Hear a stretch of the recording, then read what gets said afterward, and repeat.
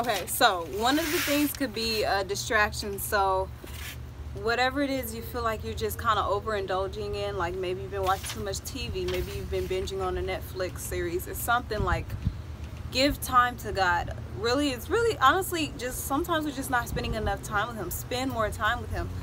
That helps you get to know. That helps you get to know His voice a little more too. Because now, the more you spend time with someone, you become familiar with their voice. Obviously, that's that's how it works, and it's the same thing with God. It's like the more time you spend with him, the more you get to know him, you'll know his voice. So when you do have dreams or when someone does say something or when you do see something or, you know, and then plus you know his word, it's like you feel things in your spirit and you know it's him.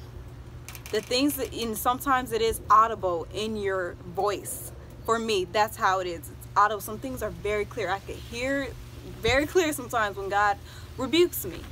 Um, lady, you're, uh, you're prideful in this situation or lady uh, yeah i think i get that a lot like uh, and i think a lot of us probably struggle with it too because it's like uh, when we're not relying on god or having full faith in god we're struggling with the spirit of pride it's like you think that you know best you know like you think that you have it all figured out on how you're going to live your life or how you're going to get whatever money you need for what you know so take away all the distractions and so that's what so sometimes uh, you just need to fast from whatever it is. A lot of people fast from food but sometimes you can fast from something else. Like i, I fasted from social media because i realized i was overindulging in that when i couldn't hear from god and i didn't want to know what was actually going on with me. Um, some people turn to tv some people do turn to food uh, i did go on a three-day fast one time once. That was the, the I, that was the only time I went over 24 hours without eating anything. So it was obviously the only time I went three days without eating anything. At the end of it, I got something I did not expect. Um, I went in with a friendship, came out with a friendship. God definitely opened my eyes so much, and I didn't expect that going in. It was not what I, I was not fasting for that friendship. Um, but that, God re really opens up your like your eyes and your ears when you are fasting to see and hear things. That's why i say don't look for something. So you're not fasting to like push your own agenda. You're not fasting like oh god like i want this uh god i mean i want this guy to propose to me so i'm going fast. So he does it. No.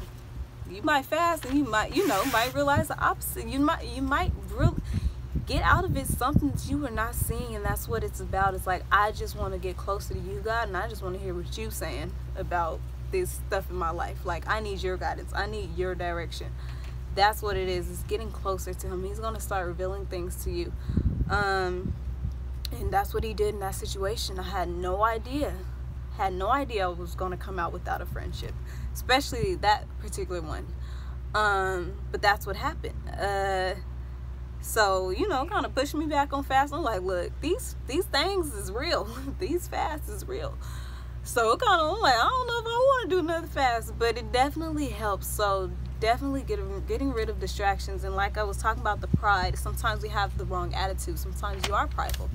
Um, sometimes you do think that you you know the best way and that's why you went ahead and got, got whatever car when God said don't go and go don't go out and buy that car or like what you know that's why we go ahead and do stuff anyway because we're prideful and it's like then we convince ourselves that oh no um, God has given me the yes on this. He is not giving you the yes on that. You giving you the yes on it and you've convinced yourself so much that you're at peace with it and that's scary. So don't ever get so prideful that you just hearing yourself but think you hearing God. Uh, I don't know how to better explain that, but it happens. So just be aware. That's why you always just want to check yourself with God. You always want to check yourself with God. Um, so distractions, the wrong attitude, uh, even not even with pride. If it could just be like how you're viewing someone some, with unforgiveness. Sometimes you're so upset with people. I I had I I struck. I don't want to say I current, but so I have had my experiences with unforgiveness. It is a difficult thing to push through, at least for me. So sometimes I just have to pray like, God, help me to see them how you see them. Because at the end of the day, God still loves that person. God still sees the good in that person. So help me to see what you see, God, because I don't see, you know. But it's like I, it's good and it's good in every single person. God has specially made every single person. So we all have our shortcomings and our our things that we do and it's that we struggle with and it's like God, this person struggles with whatever and in the event I was hurt, you know. But help me to see past and not to be a fool and to walk back into something you pulled me out of, but just so that my heart is not burdened by this anymore.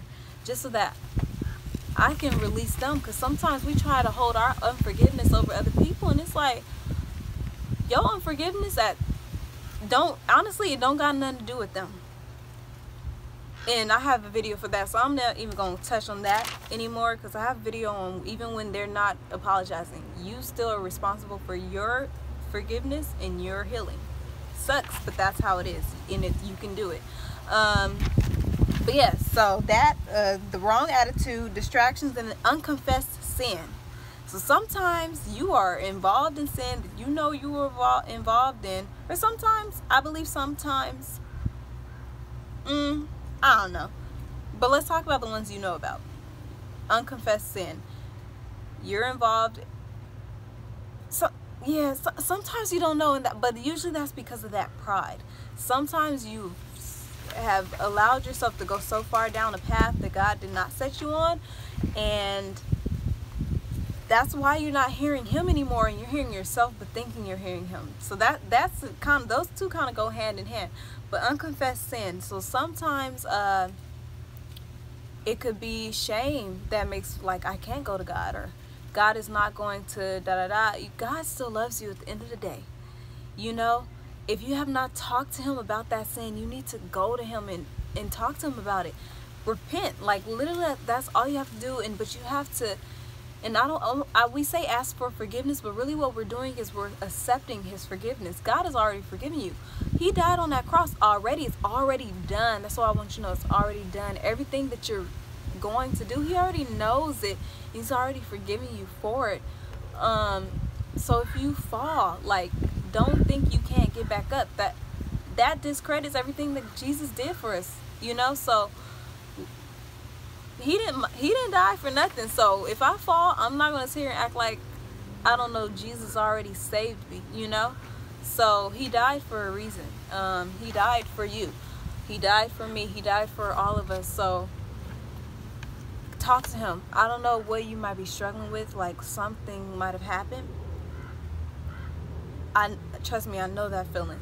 And it's difficult to remind yourself that you still are qualified, you still are um, God still loves you and he still wants to use you and give you everything that he intended to give you and do everything through you that he intended to do through you. It's it's difficult to remind yourself of that, but that's why I say like knowing his word, you know what he's saying. That's what he's saying to you.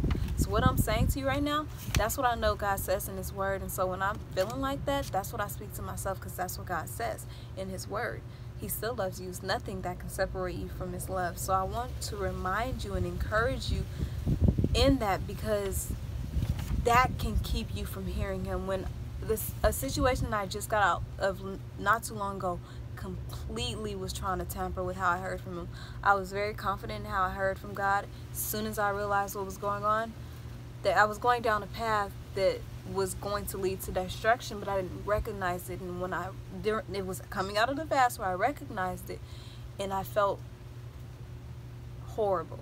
I felt like God, I've been on social media encouraging people with your word, and here I was caught in something that I didn't even know I was caught in. But it's possible, and that, you know, it happens. Uh, that's why when you see someone in the body and you see someone in ministry, something is going on. Like, it's not always very uh, visible or, a, uh, you know, it, all these things are spiritual. So, it's not always just a easy thing, you know. So pray, pray if you see something in the church, pray for that person, because they may not know. They may really not know, and you just pray that God opens their eyes and that they follow His lead. If they're truly obeying God, eventually um, He will open their eyes to the situation and they will make the right um, correction. So as soon as my eyes were open, I made the correction I need to make. I think that I'm still trying to fully understand what happened. So I'm still going through that, so can't really talk about it yet.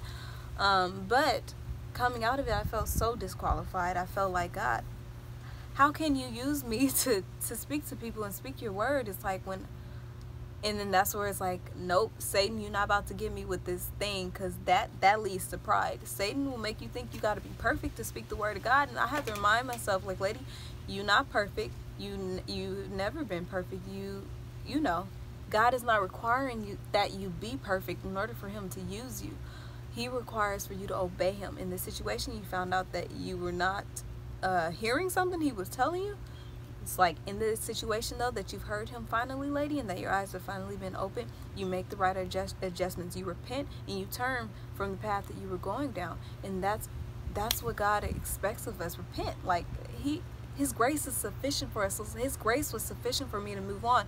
I I, I still kind of struggle with it because I'm like, God, it's too much of a burden to give words when I be like not that I'm actively sinning, but it's like I fall into situations where it's like I didn't understand it.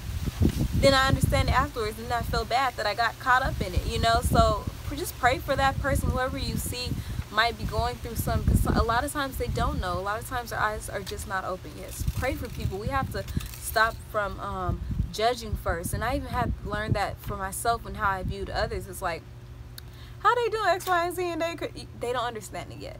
You know, it's like I used to be going out to clubs too, and I surely was a Christian. I surely uh, did have a relationship with God. It's like I would hate if someone judged me and said, "Lady don't got a, a relationship with God because she out in, in, the club." No, pray for Lady that the Lord opens her eyes to understand why He does not want her in that environment. You know, because there, you know, so that that's things that you talk about with God. Like, okay, God, show me this. What? Why is it that da da da? Or why? You know, ask Him. He will tell you if you have the desire to hear from God and to listen to him, listen and to listen to him, he's going to speak to you. He wants a close relationship with you. There's no one uh, special that only get, you know, you just have to be willing to listen and just if you, you're willing to listen, you're going to talk to him more. You're going to start hearing from him more.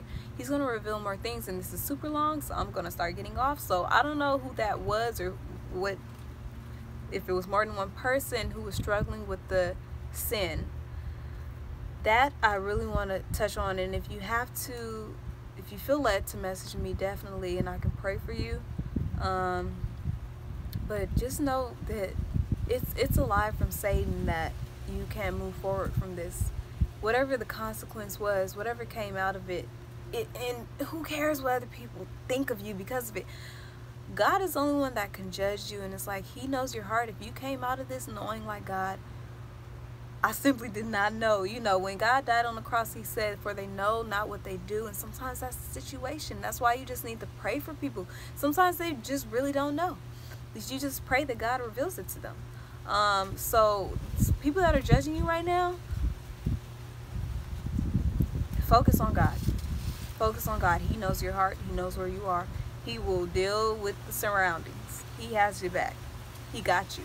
He not telling you to back down from what he called you to do. First of all, you have no excuse to back down. There, Satan is trying to give you reasons to not carry out what God calls you to do.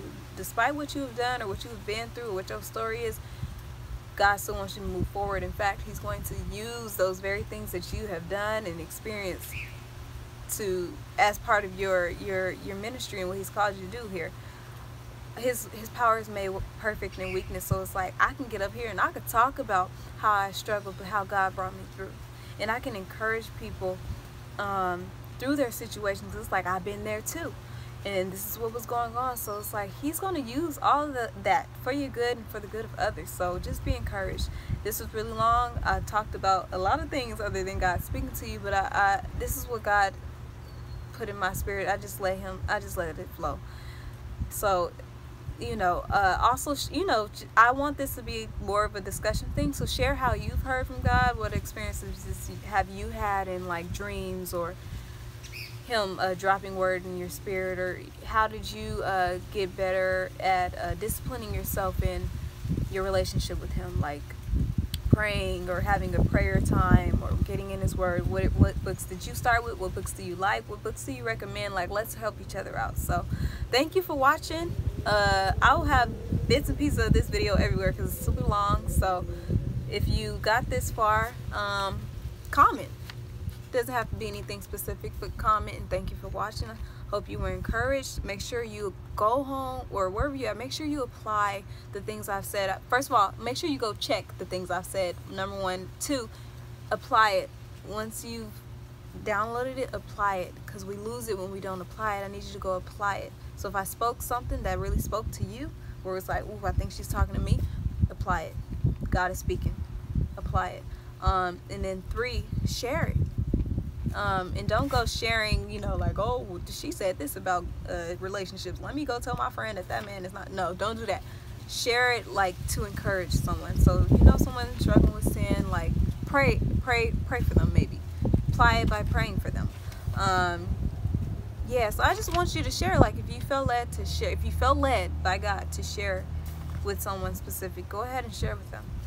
Uh, go ahead like the video subscribe to my channel if you're not subscribed. I'm going to be doing more of this and finding out how i could best do these but this word needed to get out so i'm just glad that uh, god has used me in the situation. I hope that you were blessed by it. Bye